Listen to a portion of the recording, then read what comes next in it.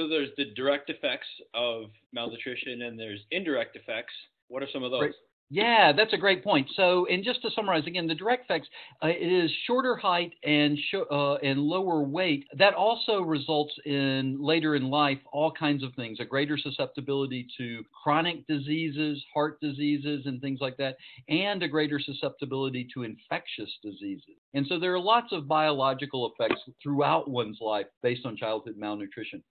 Our partner in this project is the Central, one of our partners is the Central American Nutrition Institute. They've been doing studies for the last 40 plus years, 50 years really, looking at the effects of malnutrition in Guatemala. And these have become the gold standard studies around the world. And what we have found is that kids who have an intervention like ours, sort of stopping them from being malnourished, their lifetime earnings, their earnings as adults, are 40% higher than kids who are malnourished. The kids who are well nourished or their interventions, they do better in school, they have higher lifetime earnings, the lower rates of chronic diseases and infectious diseases. So there we can actually put a dollar figure on this.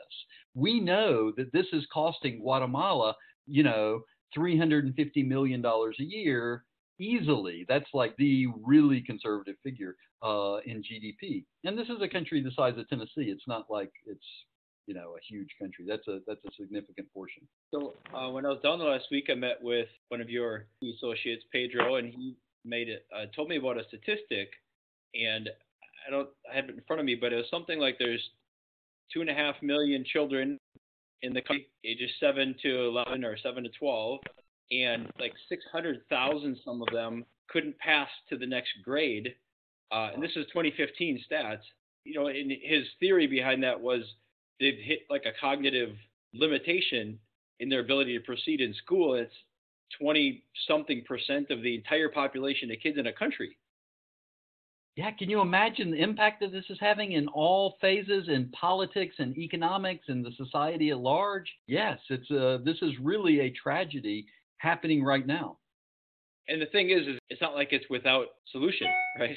It's not an inevitable uh, problem. So that's the frustrating part of it, but it's also why it's exciting to address it.